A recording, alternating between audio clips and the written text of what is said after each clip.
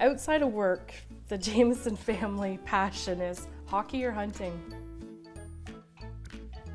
Giles, Stafford, and Barkey. The minute we lose possession of that puck, you hunt down one kid. Remember the forecheck.